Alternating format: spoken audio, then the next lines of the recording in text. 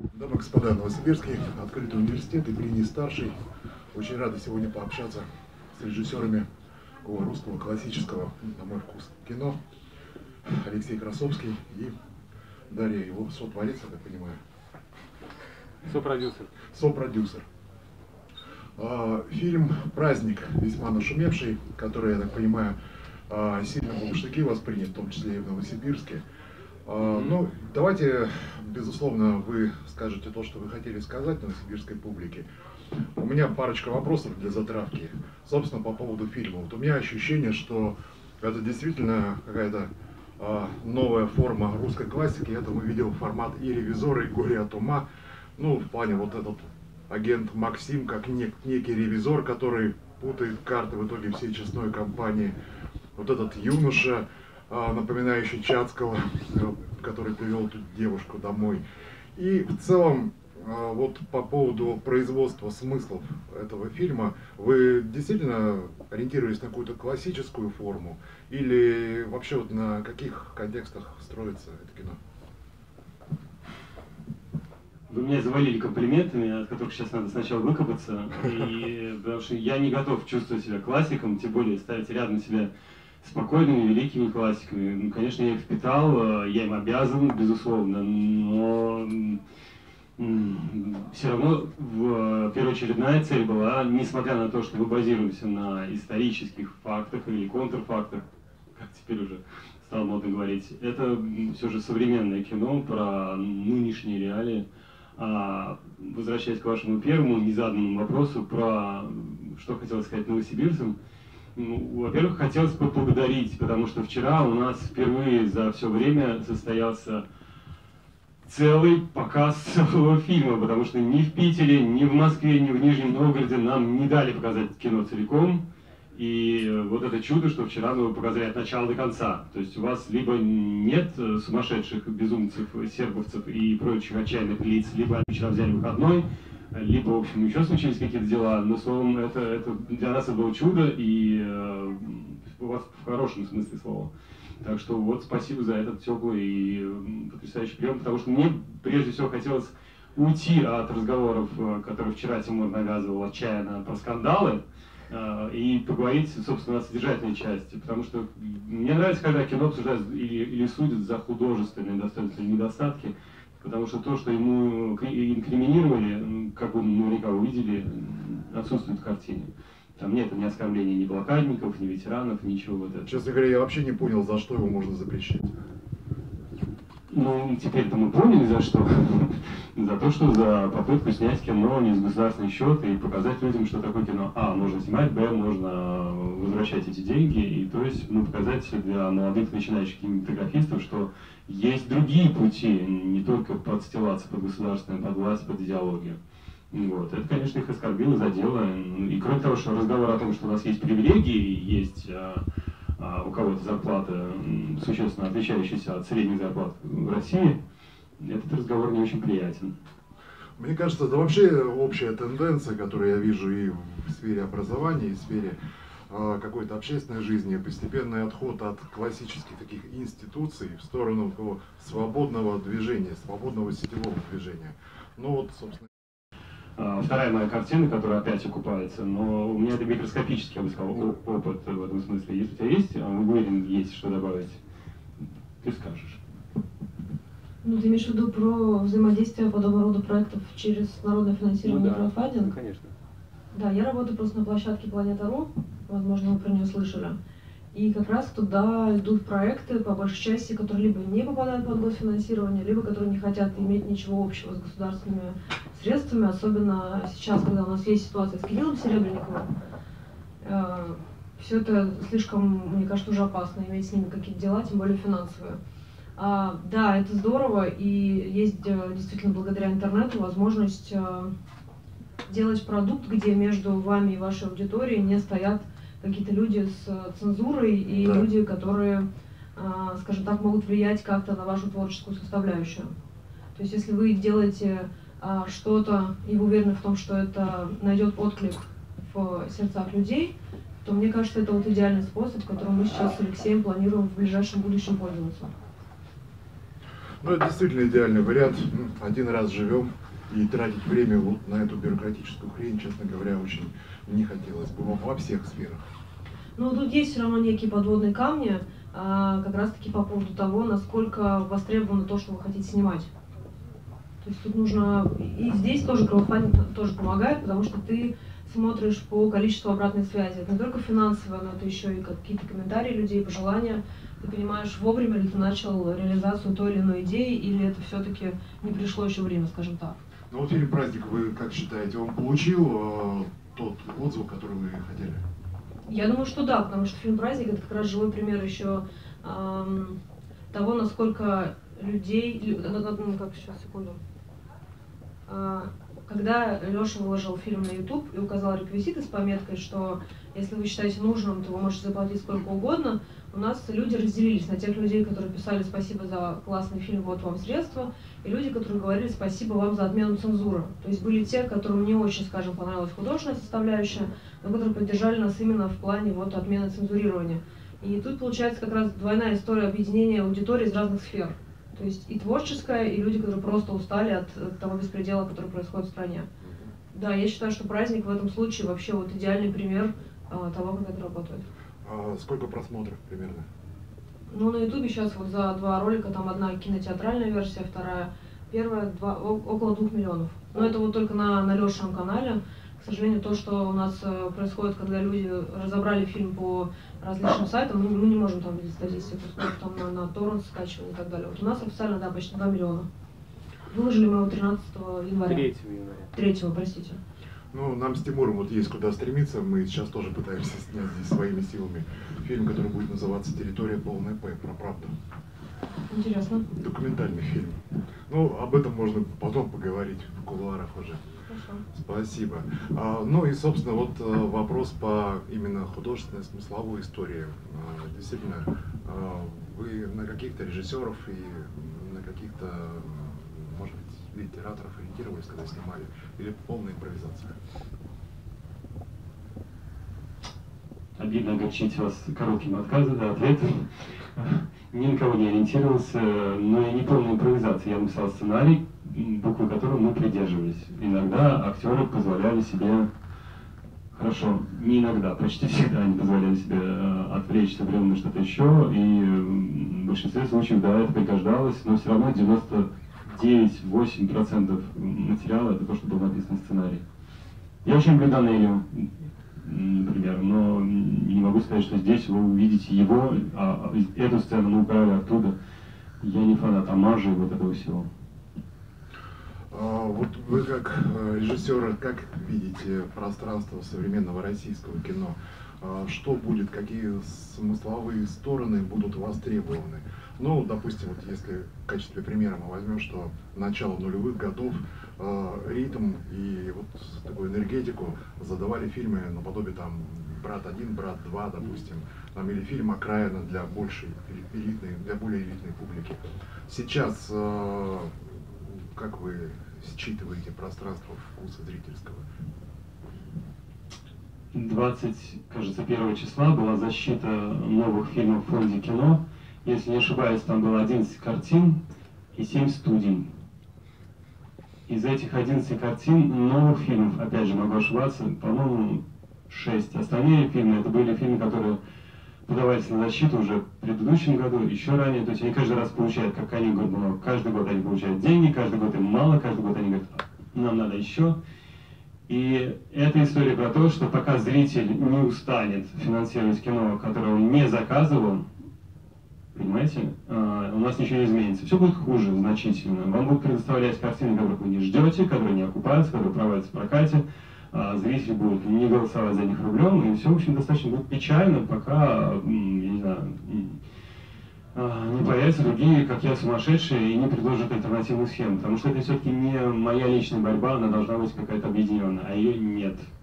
И у нас нет ни киносоюза, ни кинопрофсоюза, ничего этого совершенно. И зритель я подхвачу дальше на ответ, а, в массе своей ленив, чтобы поддерживать кино, поддерживать независимые СМИ, поддерживать независимый театр, он считает, что ему все так должен дать.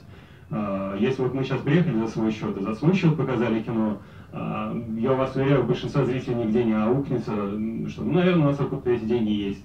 Я в прошлом врач-стоматолог, наверное, он продолжает работать и драть зубы, считают они. И э, вот каким-то образом никто, пока у нас нет этого понимания, что торрент это зло, что пиратское кино нас развратило, что пора, если вы хотите, как бы оплачивайте работу такси, как бы оплачивайте э, кафе в заведениях. Также, к сожалению, надо учиться оплачивать работу писателей, драматургов, режиссеров и так далее. Вот, иначе не будет никакого существования. А пока в этом смысле мы сильные изгои. Расскажу вот эту короткую историю, когда я ехал из Лос-Анджелеса, прилетел, сел в такси, меня водитель спрашивает, вы а, откуда прилетели? Вы из Америки. Вы отдыхали или развлекались? Я говорю, а так вышло, что я с фестиваля приехал. Я говорю, знаете, и то, и то, наверное. Вот, что делал я? Показывал кино. Какое? Коллектор. И он делает так. Он открывает, значит, планшет и набирает там «Смотреть бесплатно онлайн». Я говорю, а можете мне предоставить скидку в таком случае? Раз вы смотрите кино бесплатно, может быть, вы меня бесплатно повезете тогда? Ну, и он не понимал, почему, собственно. А я тоже не понимал его, почему. Почему э, он свой труд оценивает так высоко, да, чтобы меня за тысячу рублей отвезти до дома, а моя картина не стоит и 100 рублей для того, чтобы за нее заплатить. И вот, вот как сломать вот эту парадигму, я пока не знаю, не придумал. Чертовски важный вопрос, да. С одной стороны, вот если мы представим, что в интернете все, любой контент будет э, требовать какой-то оплаты, какого, какого-то цензурирования. Микрофон, мне кажется, вас не слышали. Слышно, слышно. Да? Слышно.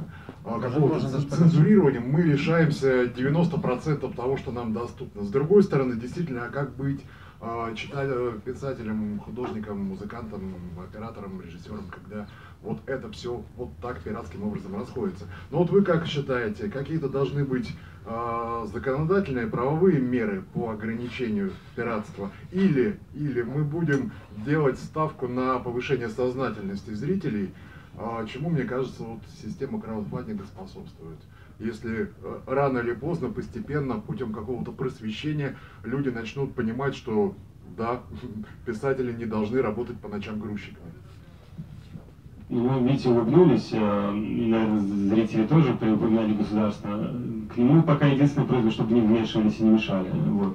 Поэтому мы, я думаю, со зрителями как-нибудь сами разберемся. Опять же, если зритель все-таки через вас в том числе научится это понимать, научится разделять э, то кино, которое ему навязывают, и за которое он заплатил трижды, ну, условно, там, фильм про космонавтов, у вас взяли деньги первый раз, чтобы снять это кино, второй раз потом, чтобы его разрекламировать, и в третий раз вас уговаривают на него еще сходить. И вы трижды платите за эту картину, хотя, повторяю, она снята за ваш счет, и никто перед вами не отчитывается никогда в жизни. А, ну, кроме Кирилла Селенникова, который отчитывается за нас всех. Поэтому я, повторяю, пока только верю, но а, не уверен, просто у меня нет ни моральных, ни физических сил об этом еще и подумать, как выстроить зрителям вот эту вот связь и вот эту схему устроить. Я пока думаю о том, как за небольшие средства снять, э, пафосно выражаясь, качественное кино. Даша, вы как думаете по поводу вот, э, путем закона и жестких э, запретов мы можем, сможем двигать оплату свободных художников или за счет возрастающей сознательности, на которую ставку делать, ну, конечно же, очень-очень так себе опасно. Да нет, на самом деле здесь согласна с Лешей, такие вот эти вот ограничения ни к чему хорошему никогда не, приводили. У нас, в принципе, так народ не имеет никаких прав и свобод, если мы сейчас и здесь его будем принуждать, ну, это ничего, кроме агрессии, не вызовет. А, мне кажется, что да, этот путь долгий, достучаться до сознания людей, но а зачем тогда мы нужны? Ну, то есть, мне кажется, снимая и делая такое кино, как вот Леша сейчас с праздником, когда он показал, у него была кристальная бухгалтерия, он сказал, что он потратил свои средства, выложил все отчеты, и при этом мы не идем за прокатным удостоверением, потому что мы знаем, что нам его не дадут, а как покупать дальше картину, вы потратили свои средства, и, и все на этом. То есть, мне кажется, даже это живой пример того, что люди должны понимать, что как бы крупная сумма была потрачена, картина, наверное, стоит того, чтобы ее посмотреть для всех, для тех, кто на стороне товарища Мединского, и для тех, кто на нашей стороне, ну, они все равно понимают, что а откуда брать эти средства.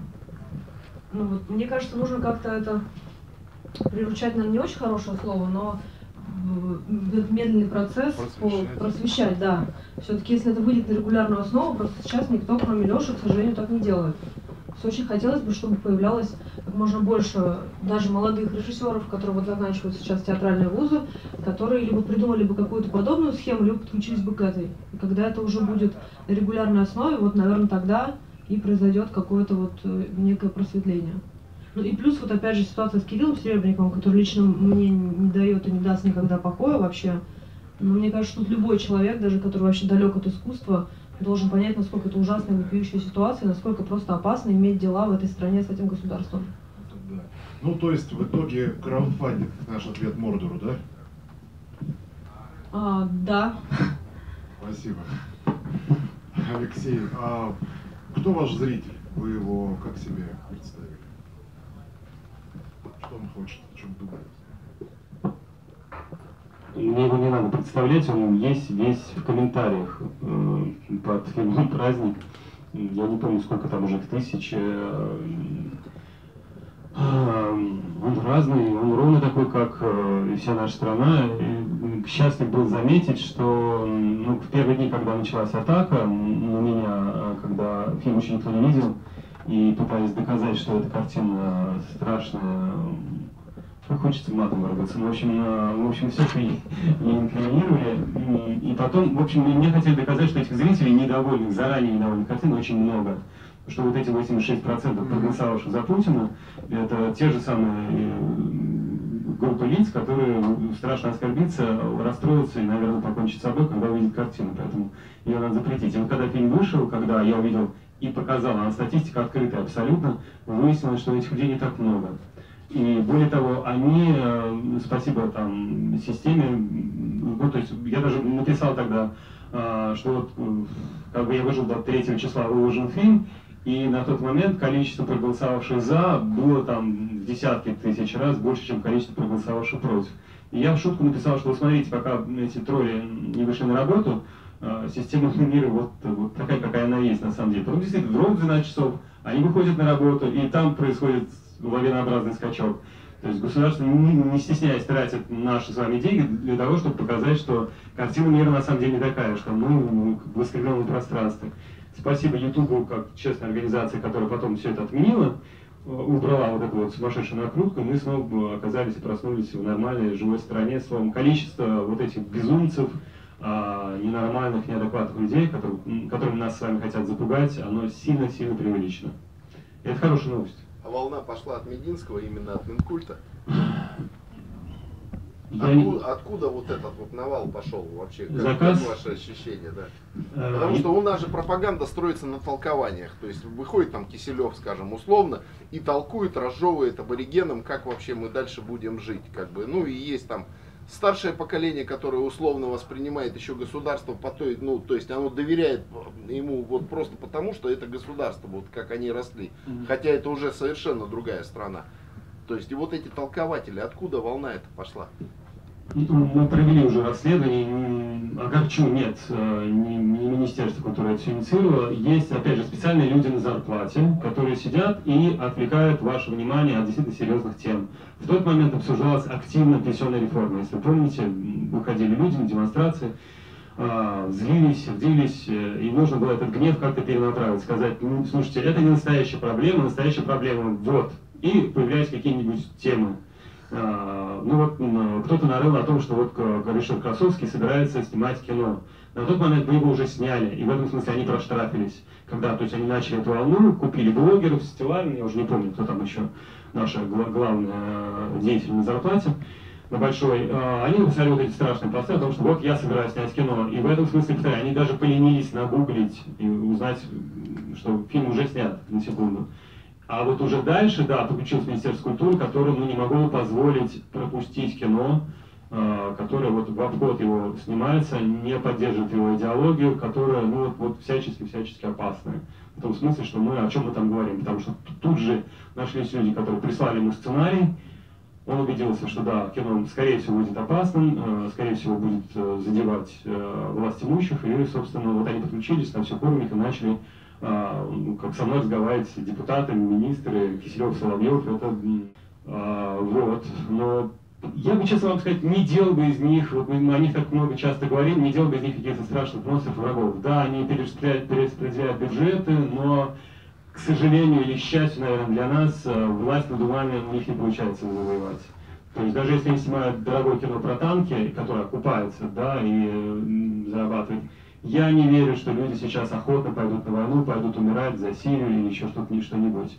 Это, это просто деньги на ветер, вот так, грубо выражаясь. А, сменить а, настроение, сменить, а, не знаю, человеческую культуру пока не получается. Это надо как-то другим образом делать. Не буду подсказывать им как. Вы как режиссер в любом случае одновременно и антрополог, то есть человек, который как-то проникает в человеческую природу. Кто из философов вам интереснее на данный момент? А если я не стану называть философом, назову людей, которые мне никак не любопытны.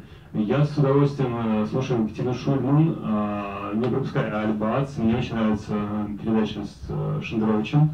А, ну, я, я в основном, знаете, люблю людей, которые на моих современников э, читаю посты Бориса Акунина, э, который, наверное, может быть, даже глубже, чем я исследую человека, потому что я исследую какие-то все-таки э, сиюминутные изменения, я хочу повлиять на них, создать как психологическое оружие воздействия. То есть у меня чуть более узкий интерес, чем у них. Они как-то умеют более широко на это смотреть. Вот. А в прошлое заглядывать мне, простите, не так интересно. Вчера у нас Извините, лофте... старший.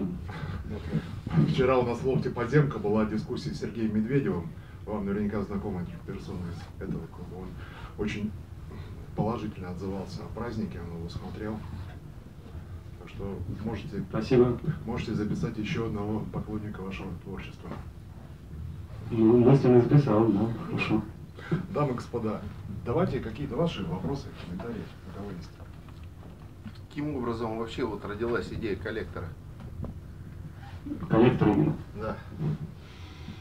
А, ну, сейчас уже можно рассказать правду о том, что я, когда рассказывал, что я пришел к врачу, и мне проводили исследования гастроскопии, там есть такая сцена в начале фильма, я все набрал. На деле я сначала написал историю про сапера, но на кино, а, потом, когда я написал, у меня получился очень хороший парень, который прощается с своими близкими, потому что вот он сейчас может взорваться. И я долго мучился, искал идею тоже монофильма, чтобы она была интересна. И вот ходил, думал, думал и придумал коллектор. А, на самом деле здесь правильный, поскольку не, не задали приятный для меня вопрос, я отвечу приятным для, для меня ответом. Дело в том, что коллектор появился вопреки а, мне очень долго не давали снимать праздник, который вот я сейчас снял. Это сценарий, который лежал значительно дольше, чем коллектор. А до этого у меня было еще у меня большое количество сценариев написанных, что, что называется, в стол. Я могу еще лет 10 примерно сейчас существовать, снимаю то, что уже написано. И я снял фильм «Элефант», который тоже уже вот уже готов. И все эти картины я не мог реализовать, и поэтому я нашел для себя единственный простой способ, как мне все-таки снять кино, не умоляя, не, не дергая всех этих толстосумов. И э, выход был снять кино с одним героем в одном пространстве. Мне не сложно это было сделать. Лукавый я скажу, потому что, говорю, написал сапера, а потом в результате переключился на коллектора. Вот такой тернистый пусть. Извините за непрямой ответ. Ну, произвело впечатление, на самом деле. У меня, наверное, уже профессиональная деформация. Я вообще кино практически не смотрю. И вот с последнего я посмотрел «Дом, который построил Джек». Ну, потому что меня просто интересует конкретно Ларс фон Триер и его высказывания. А все остальное мне смотреть не интересно, потому что либо это вот идет вот эта вот накачка, когда вот просто вот там войны, то, что когда гормон гуляет для юношества, ну, снимает либо идет что-то такое совершенно, ну как сказать, миром правит мелодрама, это же не я сформулировал. То есть и вот уже неинтересно, там пять минут, и вот опять это какая-нибудь слезная там история или менее слезная. И, то есть это неинтересно, ты считываешь сразу сюжет, ну и как бы уже это неинтересно. Ну вот мне кажется, по поводу вы сильно большие иллюзии ушли, что вот сейчас крауд там как крауда файдинг, да, файдинг, да что, что сейчас вот прям на это. Да, это дает какие-то возможности, люди начинают искать информацию, там свои эти самые. Но большинство вот так и сидит, ожидает, что покажут по первому, там, по второму каналу, то и будем смотреть. Ну, вы правы, большинство действительно сидит и ожидает, пока, повторяю, это, ну, я считаю, и наша тоже вина, а, в том смысле, что этому самому большинству, вот ну, скажем, давайте ограничимся сейчас теми людьми, которые нас прямо сейчас слушают в этом книжном магазине. Пока мы этому большинству регулярно не будем предоставлять новый вид, да, новый контент, новый фильм, новый сериал, новую короткометражку, пока мы его не приучим к тому, что э, если вам интересно э, узнавать о себе, о сегодняшних, если вы хотите поговорить о сегодня, что за это приходится платить вниманием, рекламой, распространением в том числе. Это, кстати говоря, тоже плата за внимание. Очень простая, сделать перепост. Чего проще? Нету денег, сделай перепост, поделились мнением с другими окружающими людьми. И это тоже в наше время э, цена. Потому что э, мы развивались с вами в 21 веке, где э, нефть перестала стоить так дорого, как стоит информация. Информация – это новая валюта. Вот. И э, это надо понять, усвоить и извлечь из этого какие-то выгоды, прибыли и прочее. У нас появляется криптовалюта имени Дурова, появляется криптовалюта уверенно имени вас, имени меня, и мы с вами можем каким-то образом обмениваться тем, что вы умеете, тем, что я умею. И это потрясающее время, оно, не знаю, мне очень нравится, что мы в нем оказались, что уже не можно так с, таким, не знаю, страхом и упоением смотреть на этих людей, э, власть имущих и так далее, все время думать о том, когда они соизволят изменить мнение большинства. Большинство, повторяю, уверен я в этом, само прекрасно изменится и, э, и выберет не те книги, которые навязывают, а те, которые им сейчас покажутся интересными. Перемены происходят уже прямо сейчас. Да, постепенный эволюционный процесс. Сначала декабристы будет Герцен, а потом Герцен будет революцию. Ну, примерно так.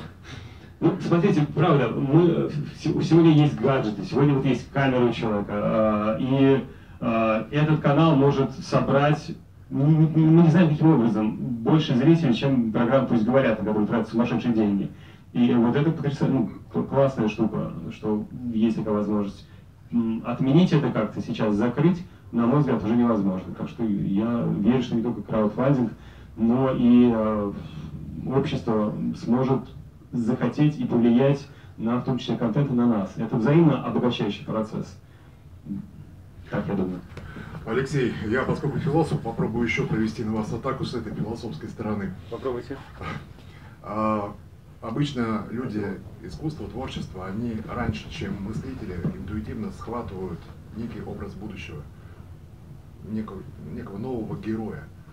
Можете что-то вывести из своих интуиций и сказать, какого вы видите нового героя, которого вы будете снимать, или антигероя, может быть? Микрофон можно чуть подальше тоже. Там. Можно подальше? Да, там нормально слышно. Угу, хорошо. Сейчас был реплика антигероя. А, на самом деле я их очень люблю. И мне про, вот это проще сейчас ответить э, нашим, с нашим новым проектом, который будет называться «Революция», и в котором мы наплодим большое количество людей, которые как раз и будут ответом на ваш вопрос. Какие герои нового времени будут, поскольку это история, сейчас уже можно об этом сказать, э, про тотальный зашквар, про время, когда в России вдруг всплыла информация на всех. Представляете, да, такую историю? Что все наше, что собиралось, что все наши телефонные переговоры, WhatsApp, звонки, переписки, все это однажды всплыло, люди оказались в пространстве постправды, когда врать уже больше не нужно, бессмысленно и так далее. И вот сейчас э, в стране нету, слава богу, уже нашего президента, нету никакой власти, и людям приходится каким-то образом самим определяться, и вот в этот момент у нас и просыпается настоящий гражданин, э, настоящий человек, который хочет перемен к лучшему, и он готов за них бороться, сражаться и э, менять э, не только свою жизнь, но и жизнь окружающих. Вот, если, а я верю, что нет же не если, а когда у нас это получится, вы все увидите и мы предлагаем, что называется, влиться в эту историю и вместе э, осуществить как мы называем, революция 2.0. Потому что у нас будет не только один фильм, будут еще эпизоды, будут короткометражки много-много всего, чтобы молодежь, в том числе, которая мечтает оказаться внутри кино, и не знает, как это сделать, у нас есть план, есть идея. Это утопия или антиутопия? Или то и такое? Это и то, и другое. Ну, прежде всего, повторяю, это современный сериал, который я немножко побаиваюсь, что он, э, хотя я скажу в прошедшем времени, я немножко побаивался, что это произойдет. Ну, поскольку со мной это происходит постоянно, Даша не даст соврать. И у нас даже вчера был человек, пришел на примеру человек, который а, можно об этом сказать? Попробуй. А, просто у нас пришел, например, человек, который э, взламывал, э, ну, как он сам говорил, нашу страницу и следил за ней, вообще знал, где она, когда находится. То есть мы горячим примером, таким живым примером вот, а, того, что происходит, это феноменально. То есть, если бы был бы сейчас здесь, можно было проиллюстрировать это, что ФСБ, вот эти силовики или люди, которые им помогают скрывать информацию на нас, они э, скоро останутся без работы. Вот. Э, для них это грустно, но для нас это не очень. То есть вы редкий пример оптимизма, когда смотрите в будущее, да? Хочется сказать, что может быть все-таки не редкий, но да, наверное. Ну, я тоже надеюсь, что а, частота оптимизма будет возрастать. Будем заражать ей. В общем, что остается? Ну, в общем, да, раз мы взялись играть в эту игру, то играем ее до конца. Дамы и господа, пожалуйста, ваши вопросы, реплики, комментарии, пожелания. Скажите, пожалуйста, э, фильм «Праздник». Э, фильм «Праздник» мне очень понравился. Вопрос следующий. Э, фильм «Праздник» — это провокация? Вопрос. Если это провокация, то это провокация направленная на общество или направленная на государство. Вот исходя из ну, вот, диалога, который я сейчас, ответов на вопрос, я понял, что такое у меня ощущение, что это провокация, фильм провокация направлена на государство. Так ли это или, или, или нет? Как вы, как вы? Знаете, когда уже случилась авария, глупо отрицать, что ты был участником этой аварии. Я не задумывал картину как провокацию. А, повторюсь, мне просто хотелось высказаться о теме, сейчас э, я медицинское слово прошлое скрою, о теме блокады чувств в первую очередь. Знаете, да, когда вам делают укол, чтобы вам стало легче переносить боль. И э, вот об этом в первую очередь хотел сказать. А уж то, что он получился провокацией, в том числе и на государственные структуры, и в том числе и затрагивающие чувства людей, народа, как вы говорите, а, ну, ну, это уже следствие этого всего. Я не буду это отрицать. Это получилось, но не получилось, получилось скорее вопреки. Я не стремился это создать. То есть вот вы сейчас подхватываете тему вчерашнего Тимура. Который повторял. С другой скандал, стороны, скандал, скандал. делают такой паблик relation, что просто, ну, как сказать, позавидовать приходится. Потому что кто бы узнал, услышал, если бы не было этого навала. То есть они же распространяют информацию. Как Марк Твен говорил, да, говорит, любая реклама, кроме некролога. Это, знаете, такое замечательное заблуждение. Я бы хотел с радостью поделиться вот этим черным пиаром с кем-нибудь еще с вами, еще с кем-нибудь, чтобы мне кто-нибудь вернул вот эти месяцы жизни, которые у меня были отняты, на эту ерунду. На походы, на встречи, на обсуждения, на защиту, на ответы следовательниц прокуратуры, на общение с сумасшедшими. Правда, это бездарно потраченное время. Мы успели бы с Дашей снять, наверное, еще два-три фильма за это время. Нафиг надо, извините такую рекламу. Мы, по правда, мы не глупые люди, мы можем не только снимать кино, все-таки умеем тоже его продвигать. А, это случаи, когда они нам говорят, что одну вам помогли, да, но они у нас отняли время и деньги, а в случае с отнимают видите уже сколько, и свободу, и, и свободу перемещения, и высказываний, и всего остального. Тоже можно сказать, это же реклама, сейчас сколько людей, во всем мире о нем узнали. И что? Человек ну, делает новые постановки, извините, что так много сегодня о нем говорим, но правда, кто-то должен. Возвращаясь к фильму, я бы ну, вообще не увидел его как провокация. Мне кажется, что э, блокадный Ленинград вполне... Э, вообще история не про блокадный Ленинград, история про э, человеческие характеры и э, контекст может, мог бы быть совершенно иной. Не обязательно это в блокаде происходит. Э, я примерно правильно угадываю ваши, вашу интуицию? Вы главным образом хотели не про эпоху, а про людей снять. Ну, разумеется, да. И более того, первоначальный сценарий был совсем не об этом. Если вы не знаете, хорошо расскажу. Он был про посольство, живущее э, такие белые господа в южноафриканской стране, которым очень хорошо живется. Они всем обеспечены уже в третьем поколении. И вот когда выясняется, что потребность в дипломатических связях с э, этой выдуманной страной отпала, им нужно возвращаться, они видят, что происходит в России, и они не очень хотят нам сюда ехать. Они придумали, что якобы в стране произошла революция, их захватили заложники, они могут уезжать, они начинают устраивать этот спектакль. И как только, я, как только я его написал, я понял, что я сильно наврал, и что все это уже было во время, вот прям совсем недавнее, когда была вот, вот настолько безумная, вот эти спецталоны, спецпаки, вот это было ужасное перераспределение, когда люди ездили, видели весь этот голод, как э, дети везут э, родителей на саночках и наоборот, и они ехали в свои дома, у них там все было хорошо. И мы оказались сегодня в этой же стране, где давят цыплят бульдозерами несанкционных, и люди смотрят, да, ничего страшного, так можно можно получать зарплату 12 тысяч, платить за квартиру 17 тысяч и не задавать вопросов. Вот. И, конечно, это про сегодняшний день в первую очередь. Можно, повторяю, революция будет одни послезавтрашней. Да, Так что я не всегда прячусь в прошлом. Да, прошлое, если его так интересно скрывать, оно всегда и о будущем еще. Надеюсь, что да. А можно спросить, эти вот картины дети нарисовали или взрослые? Дети, конечно. Да, детские.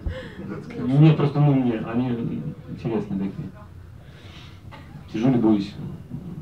В каждом рисунке слон, а Но они не заштампованы еще, у них восприятие жизни, радостная жизнь. А почему все так уверены, что взрослые? Не знаю. Да что, то есть, то есть, что детские? Почему вас рассмешил вопрос? Ну потому что там даже под- под- подписано. Нет, просто в некоторых случаях, вот там к- то ли комета, что, что такое за вами? Там подписаны эти ежи или кто это? Да, там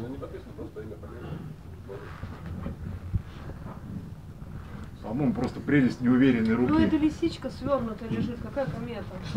А, это лиса? Это скорее белка. Близорукий режиссер, в общем, я понял. Можно у меня к вам вопрос? Слушайте, а, мы проезжали пока сюда, а, заметили вашу фишку фирменного города. У вас гигантские сугробы, а, которые мешают совре- современное искусство. Пройти, да, я понял, что вы По парашютите. нашим меркам уже чисто, уже почти. Не, вот я как раз об этом хотел сказать. У вас есть потрясающие, в кавычках, черные сугробы трехметрового примерно роста. А, вы мимо них проезжаете такие, типа, ничего страшного, да? Они ну, как бы, ну, я, я представляю, мама с ребенком выходит на улицу, и ребенок такой, а когда будет улица? Когда появится вид какой-то нормальный? Он же маленький, вы понимаете, он не видит, вот, что там сверху есть жизнь. И вот он идет километр примерно, не видит этой жизни. И родители почему-то ничего с этим не делают. Вот, как, бы, как вам в этом живется? Почему вы не дергаете ваших таких жилконторы? Кто это? Кто-то же должен с этим сражаться, бороться. Вы так улыбаетесь, мне мило, мне это нравится, конечно. Но, но вы сейчас выйдете отсюда и, и пойдете опять в эти сугробы. И, серьезно, вам не хочется с этим что-то делать?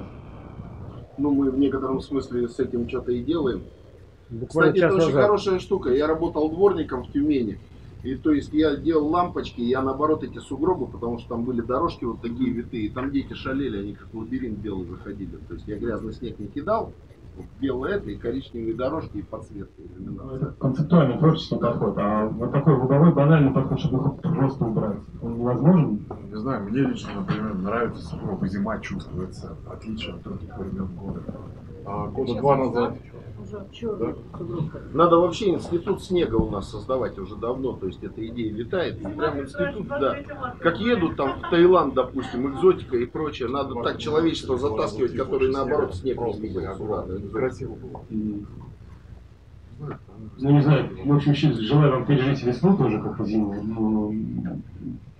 У вас светит солнце, но вот этот контраст между верхней частью такой прекрасной и нижней частью совершенно Мне непроходимый. кажется, это вопрос эстетики скорее восприятия. Расскажи моему от Городецка. А Городецкий у вас называется? Нет, был, был у нас мэр Городецкий, А сейчас кто? а сейчас Локоть. Так вот, Локоть. э, Городецкий однажды сказал по поводу одной кучи. Само раз. Само растает. Мы вчера уже шутили, а Локоть хочет локтями как-нибудь вот помочь горожанам поправить это. Он хочет состояние? переизбраться. Устал? Нет, он наоборот хочет переизбраться. А, еще раз? Чтобы еще не выше были, что ли? А, ну да, наверное, это мои эстетические какие-то завышенные критерии, хотя... Ну, на самом деле у нас как бы Ужасно, да. протестный мэр, которого выбрали на протесте вот против всей этой дурмашины, это раз. Во-вторых, просто для понимания, на, из всех денег, которые собираются в Новосибирске, на, на Новосибирск, в общем, остается 14%. Все остальное уходит, ну, как вы понимаете, когда в Москве там открывают по 20 станций метро, то есть и ты приезжаешь, вот она просто пердит от денег, вот, ну, иначе не скажешь. Вот ты просто выходишь и видишь, как она пердит от денег то, ну, как бы это самый крупный муниципалитет страны, России, понимаете, Новосибирск. То есть 14%. Ну, вот перхоть вам вот это. Была какая-то история Ухаживайте. соединения Сибири. Как-то же хотели они отсоединиться, чтобы финансирование не шло дальше Нового года. Это ни к чему не привело. Я была какая-то такая история. Но эта история была в конце 19 века Потанин и Ядринцев. Да. Не, ну я про современную, конечно. Я Сейчас, сейчас о федерализме здесь вообще говорить, в общем, запрещено, потому что ты сразу становишься ну, сепаратистом сибирским. Вон, смотрите, в Якутске что происходит. Там же сдетонировало якобы как бы ну, изнасилование, да, это был повод, ну, детонация. А там же вылезли все проблемы, ну, то есть просто встал город. У нас тоже такая ситуация, вот она, мы занимаемся же митингами, вот мы сейчас пришли, да, вот мне тоже было удивительно, я не понял только одного. Тут пенсионный возраст повышает, там миллион семьсот жителей города приходит две с половиной тысячи, самый большой митинг, остальные на картошку поехали. Ну, это как бы вот не Может, они просто понимают, что они не доживут до пенсии в этой стране, и Я, поэтому не я не- смысла я не знаю, на просто митинги. Россия такая страна, тут непонятно, где вот, вот когда щелкнет, что, что- да, что произойдет. Та же проблема вот, э, неучастия, которую вы вначале говорили, что люди думают, что им нечто преподнесется само по себе. Как в кино, так и на ваш вкус расчищенные дорожки. Можно я постараюсь ответить на ваш вопрос? На самом деле, мне кажется, что среднестатистический новосибирец, он достаточно зажиточен по сравнению с москвичом. Москвич больше любит а, ходить в рестораны, проводить хорошо вечер э, там, не знаю, в кафе с друзьями. А, менталитет новосибирца, как мне кажется, у него, у него, как правило, есть машина, у него есть квартира, а, возможно, ипотека, возможно, уже своя. И вот это все э, значит, э, общественные пространства для него менее важны. Вот Это просто я ну, на, на своем опыте это увидел, что действительно, вот э, когда вы приехали, это действительно так, ну, шок, просто как по-другому не сказать. Но для новосибирца, для среднестатистического, для него, ну, немножко другие приоритеты. Ну вот э, он такой зажиточный, ему больше свое, э, ну, в хорошем смысле зажиточный, свое пространство э, сдел- сделать таким, как он хочет. Вот. Все-таки общественное пространство это на втором плане. Это вот это вот сто процентов такое отличие очень серьезное. Ну, Он же платит налоги за все это пространство, которое вокруг него. Да, но это не приоритет. Это не, это не приоритет. Приоритет это вот э, ну, э, сделать комфортный свой круг, э, который, ну там, ну, грубо говоря, там дальше там, своей квартиры, своей дачи, там, своей машины, он ну, на данный момент не уходит. Как Ну, мне это касается, мне кажется, большинства населения вообще этой земли. В Москве по-другому все определенно. Вообще, ну вот мне так, мне кажется, есть отличия. Не знаю, где хорошо, где плохо, но тем не менее различия есть. Ну, а зима без супруга. Просто в Москве научились на этом тоже зарабатывать, я не власть имущие, а я бы на пе- переустройстве, перекладывание, пе- зачистки города. Ваши еще, видимо, нет. Не сообразили. Ну да, сейчас Что можно ну, пришла ну, сюда. ну, с Европой, да, тоже можно зарабатывать, или институт снега создать, действительно, просто, ну, как бы корпорация. Ну, ладно. Пожалуйста, вопросы, комментарии, у кого есть, что еще сказать. Можно вопрос? У меня вот такой, ну, знаю, этического, что ли, плана или культурного. Ну, в общем, касаемо денег на искусство. Вот э, какова роль художника, может быть, в случае, если он предлагает а, зрителю то, что ему зрителю хочется видеть. И должен ли художник, либо должен ли ориентироваться на зрителей, ну, то есть какую-то идею свою носить, новую, есть которую большинство не ожидает. Ну,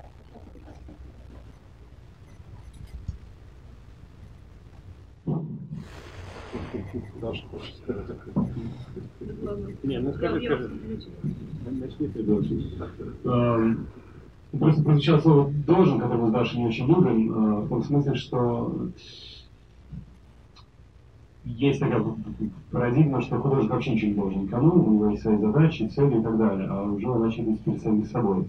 Я ее расширяю до фразы, которая будет звучать в фильме «Элефант», когда э, там сидит старый писатель с своей маленькой внучкой, и э, она говорит, я вот должна тебе помочь написать новую книгу, он говорит, говорит, что э, дети и сумасшедшие никому ничего не должны вообще. Э, понимаете, да, в том смысле, что вот я сейчас смотрю на картину и вижу, что кто-то рисует э, то, что и все, все слонах или месячек, а кто-то рисует то, что ему хочется нарисовать. И э, эти картинки каким-то отличаются на общем плане от всех остальных.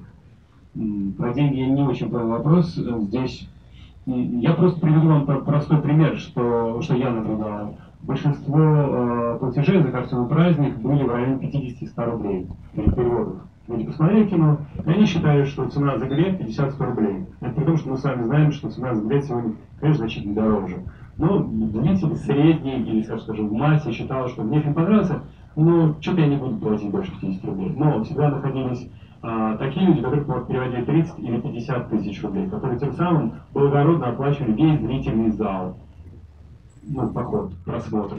И, наверное, я сам такой же человек. То есть я сам готов оплатить ваше удовольствие тем, чтобы а, вам не приходилось об этом задумываться сейчас. Но я это делаю в надежде, что в следующий раз вы об этом с моей или с помощью этих благородных людей, других, которые оплачивают поход всего зрительного зала, об этом задумайтесь и поможете. Пусть не мне, пусть другому более интересному художнику создать что-то. Пусть и даже этим детям, например. Создать что-то неповторимое, интересное, затрагивающее ваши чувства, ваше мнение.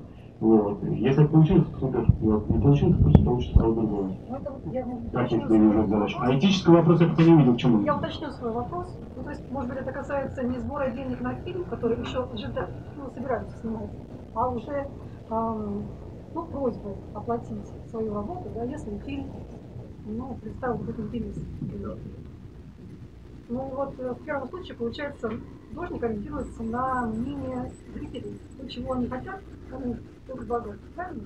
Нет. Я ориентируюсь на свое собственное мнение. Вот Я вижу а, проблему, которую я уже вы- выразил в фильме. А, а, подождем. Ладно. Вот. А, а у зрителей есть, повторяю, на мой взгляд, а,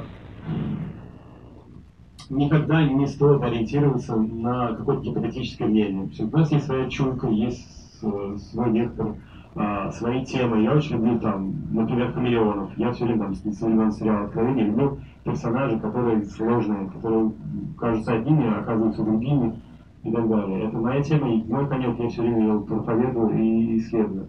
Я ненавижу первый, второй акт, и всегда начинаю кино с третьих актов и так далее. Мы, если я буду э, опрашивать мнение зрителей, наверное, мы не сойдемся, потому что зритель скажет, а нам нравится акт.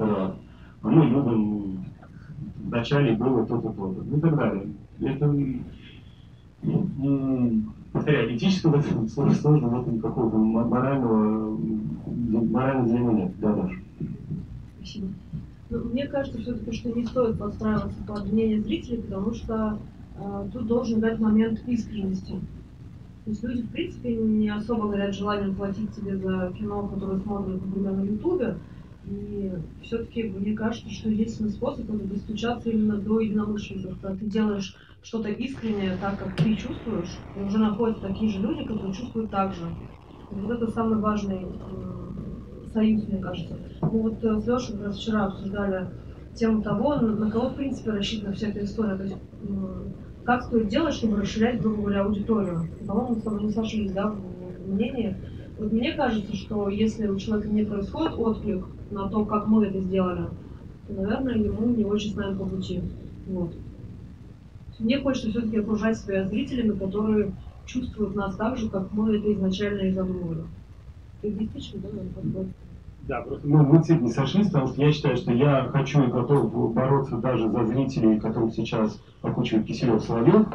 Я не сейчас про вас, мы просто в вами затронули речь, а, потому что я считаю, ну, просто у меня мама была такая, она долгое время жила с телевизором и и федеральными каналами, но мне удалось ее вырвать из этих цепких лап.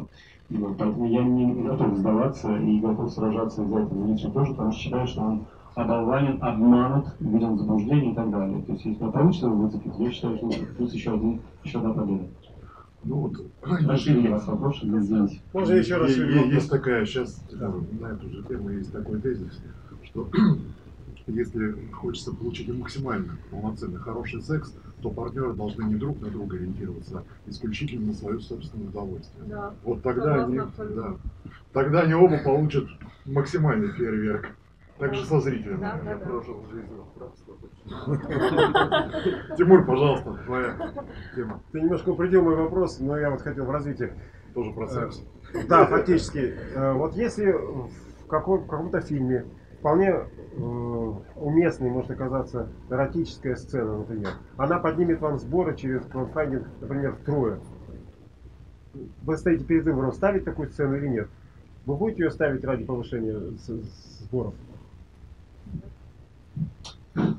Во-первых, э, мне нравится ваше заблуждение, что зрителя сегодня можно в три раза привлечь эротической А вы попробуйте. Что он научился гуглить и искать эти эротические сцены вне связи с э, моей фамилией. Э, Ну, ну, правда. Это... да, если она мне будет нужна, я ее вставлю, но не буду ориентироваться на то, что повысит э, кликабельность. Ну, честное слово, это очень наивно. Ну, Ровно так же, как вдруг а, не знаю, взять и там, выразиться матом. Да, если он ложится, если история нравится, вы скучаете по эротическим сценам, в чем вопрос, Тимур? Так кто же не скучает? А, хорошо, то есть, ну ладно. Я не понимаю, какие надежды вы на меня в этом своей возлагаете. Хорошо. Пожалуйста, еще вопрос. Пожалуйста, а, а, сборы на YouTube окупили э, ра- ра- затраты на фильм? Если нет, то какой примерно процент? А, рассказываю. Картина стоила чуть больше 4 миллионов. Чуть больше 4 миллионов она и собрала. А, на, да, ну как, что значит на YouTube? А, На YouTube м, был показан фильм, и там были указаны реквизиты. Ну, я Вот, соответственно, люди приводили э, электронными деньгами, биткоинами, кто-то приводил через PayPal и так далее. В сумме э, получилась такая же цифра. Э, Если говорить так образно, не, не втекая в детали, фильм окупился. Устроил 4 миллиона, заработал 4 миллиона. Но по договорам например, с оператором-постановщиком я ему должен был отдавать часть от этих доходов, я ему более миллиона уже заплатил. То есть он э, в плюсе, он потратил какие-то деньги, он уже заработал, я еще не окупил этих затрат, Ну, я лично. То есть, потому что это 4 мои, мои личные деньги, которые я заработал, на коллекторы и так далее. То есть мне деньги еще не вернулись в полной мере. Вот. Это все на краудфанде, правильно? Сбор денег был. Да, сбор был денег на краудфандинге, он прекратился. Спустя там какое-то время мы заработали там 127 тысяч рублей. Это значительно меньшая сумма. Да, я вложил собственные деньги, потому что я пообещал людям, что вне зависимости от того, мы соберем, не соберем, как будет с них, а так оказалось. Ну, Мне кажется? Что с его. Мне кажется, Ну, формат бизнес-модель уже понятно. Если бы она тиражировалась еще и коллегами, повторяю, это можно было назвать таким, ну, смелым словом, успех и так далее.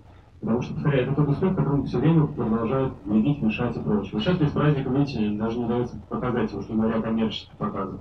Даже за свой счет у нас было показать вот трижды невозможно. Вчера вот впервые мы заплатили за конференц-зал, все подготовили, вот у нас впервые получилось это сделать. Ура! Ну, сам факт фильма это уже успех. А дальше это уже дело а, следующих этапов. Дамы и господа, будем, наверное, закругляться, да? У вас, а, Алексей, Даша, есть что-то сказать, особенно если А, Я вам все-таки очень горячо советую бороться и за внешний, и за вот этот второй план э, города, не терять, не сдаваться, и потому дороги, если я так скажу, э, которые не спасают лужи, ну, то есть они делают, конечно, поверхность гладкой, ровной, но э, переходить, вляпываться ужасно. Э, В общем, немножко по- по- поболеть за него тоже, чтобы он был чуть более м, имел какой-то характер, который я пока не могу почувствовать, какой он. Вот, и, соответственно, пропагандировать бесстрашно, смело и то, что вам нравится.